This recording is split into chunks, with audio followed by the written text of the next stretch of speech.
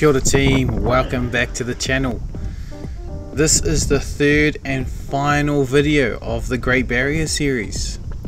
We get up to a whole bunch of cool stuff. We go snapper fishing in the mussel farms. I go spear fishing again.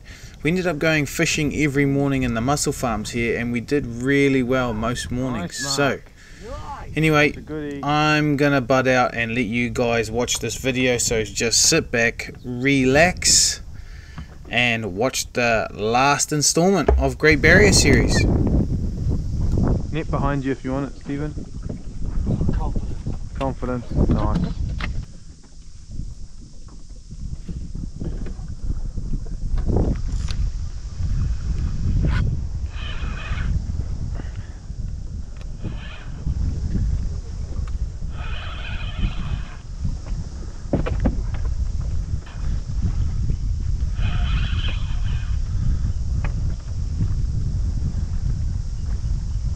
Oh, that's a goodie.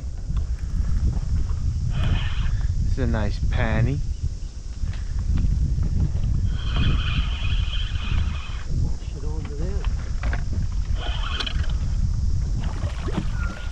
One thing about the mussel farms is that they can be so productive. My dad was a mussel farmer for decades and I grew up fishing the mussel this one go. farms and every time we'd go out there we would always catch a good feed so this time we decided to fish the mussel farms in the morning oh. and it paid off big time. We got breakfast every morning from this mussel farm and it definitely provided for us as well as we caught some really good Yeah. fish that were released. Oh yeah! Oh, ho.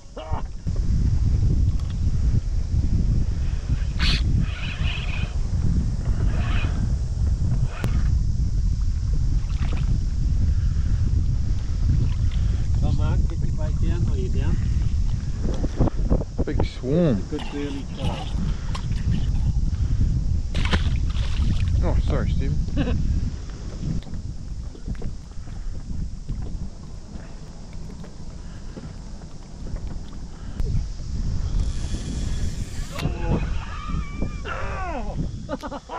All this excitement! Mm. Oh, there we go. Nice. Still on the fish though. Yeah. There it is. Shit, it's a goodie. Fucking hell. Look at that. Look at this kingy. Yeah, kingy. Big one. Look, look at that. Huge. Huge Not too kingy. bad.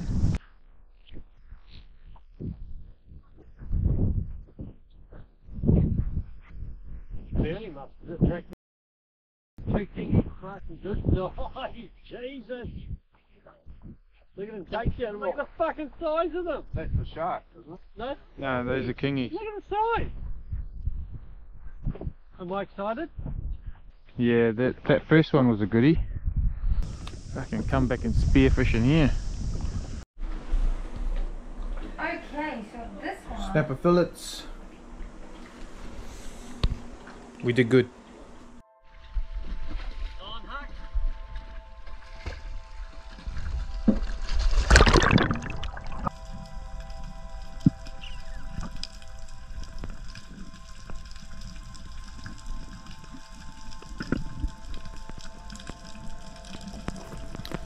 Once again, I am back at the same weed line as in part two of the Great Barrier series.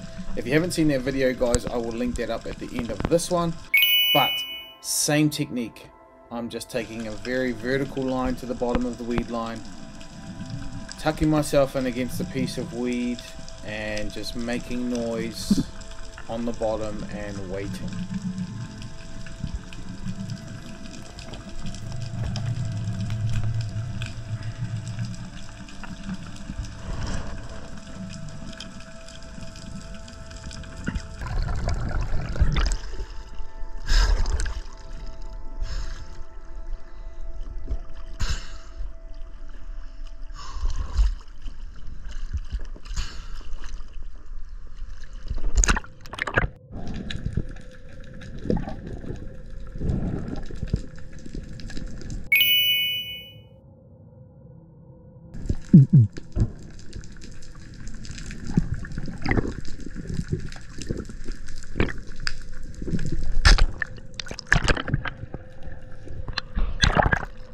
Fish on!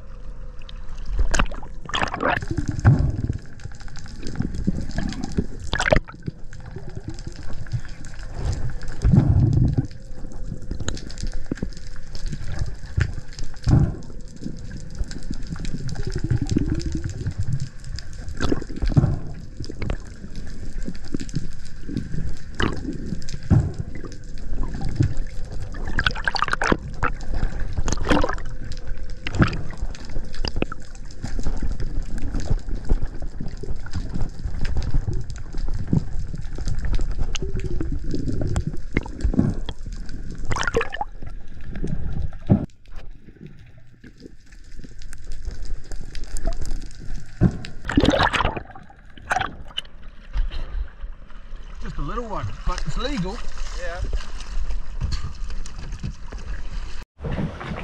One kingy. Only one I saw, so I shot it. And I think it's the other one's partner that I shot the other day. Must be about 900, so.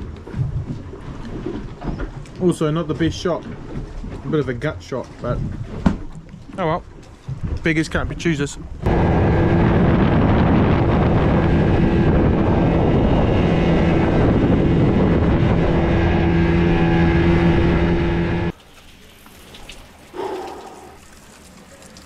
I don't drink before I dive, ever. But you can't beat a shower beer after a dive. Oh yeah, that's good. Nice. Okay, team, I am after a new wetsuit. So, I've had a Beuchat wetsuit for about two years, actually. Yeah, two years. And it's been a great suit. It's the most comfortable suit I've ever worn. However, the stitchless seams on these Beuchat wetsuits come off like nobody's business. So, I'm after a wetsuit that might last a little bit longer considering the Beuchat wetsuit is very expensive in the realm of wetsuits. So, can you please leave me uh, what wetsuit you're running, the recommendations that you have? I've worn a moray before, which was very hard wearing because I'm very hard on my wetsuits. I do a lot of cray diving, and you'll see a lot of um, repairs up my arms because I'm always going for crays. But yeah, I'm just interested to know which is the best wetsuit out there at the moment. Um, but I mean, Beuchat cannot complain in terms of how comfortable it was. Almost unbeatable. I've never worn a wetsuit like it. It's just the seams uh, keep coming off, and I would rather that not happen and sacrifice a little bit of comfort for that. Never seen such big schools of snapper. Yeah. Yeah. Just huge schools. Yeah. Swimming down that way, all just moving through the lines.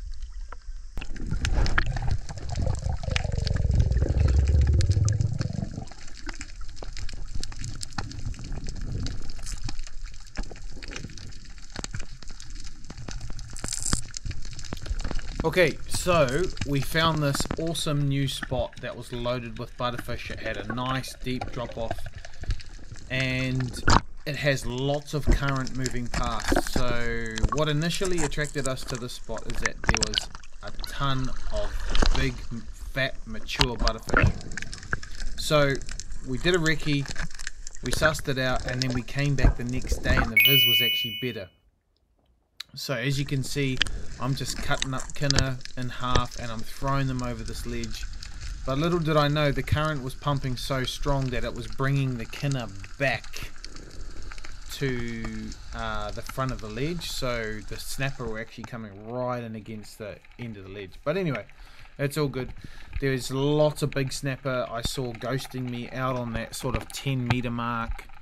Um, just out of sight, but they were definitely there and I am definitely going back to the spot because it just reeks of big snapper. Not to mention, I saw a couple of monsters.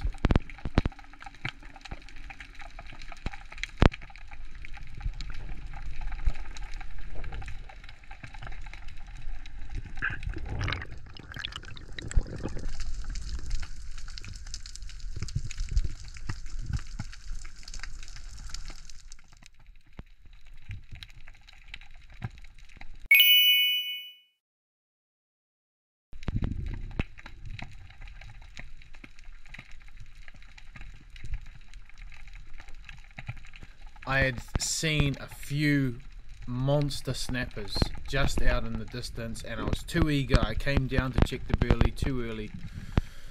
Um, my float line just got caught then, um, so I refreshed the burley again because I wanted to try and concentrate these big fish. And this really nice snapper came up from the bottom where I thought my kinas were going. And I hesitated. I looked for a bigger fish first before I actually made the decision to have a crack at him. He caught us away and I absolutely cooked the shot. Uh, I slowed the footage down and as, yeah, as you can see, a massive snapper heading off down on the sand there. But uh, slowed the footage down and my wrist was cocked, my arm wasn't straight, and the recoil just sent my spear off in the total opposite direction. So, yep, missed that one. But I get a second chance at a nice snapper, refresh the burley, and come over this ledge here and smacked a nicey top down.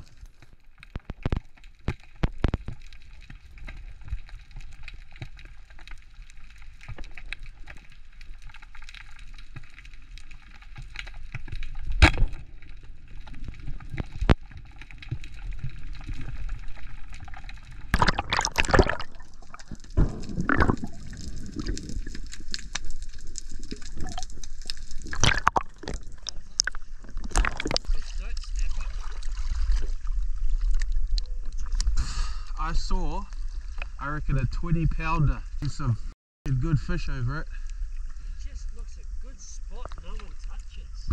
It's very fishy. Yeah.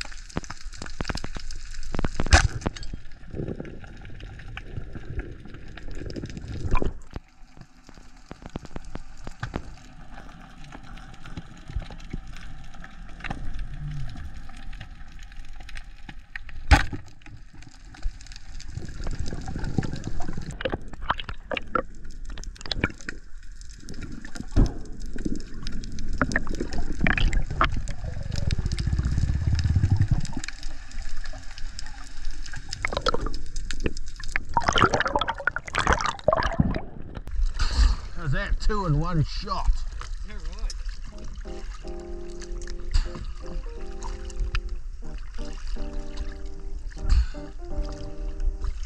Alright team, thank you so much for watching and I appreciate every single one of you 1400 subscribers. Unreal.